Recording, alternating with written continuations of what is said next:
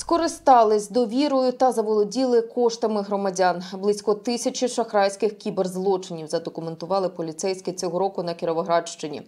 Найпоширеніша схема, яку застосовують пройдисвіти для обману людей, це продаж товарів через інтернет. Також телефонують громадяни від імені банків, брешуть про блокування банківських карток, переконуючи людей перевести гроші на їхні рахунки. Ще одна шахрайська афера несправжні фішингові сайти, через які аферисти отримують від користувачів конфіденційні дані про банківські картки та паролі від них.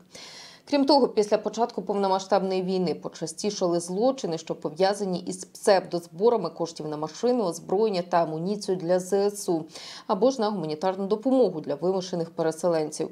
У поліції розповіли, шахрайські дії в регіоні вчиняють, як правило, повнолітні особи віком від 18 до 40 років, як чоловіки, так і жінки.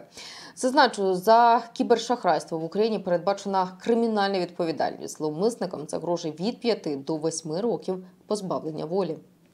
Порада е, для того, щоб не стати жертвою шахраїв, якщо ви хочете допомогти е, благодійно е, надати кошти чи для ЗСУ, чи для відновлення там якоїсь житла, яке було пошкоджено внаслідок російської агресії, а також для лікування постраждалих, потрібно перевіряти, що це за благодійна організація, хто займається збором коштів, та не довіряти особам, які можуть скористатися довірою громадян.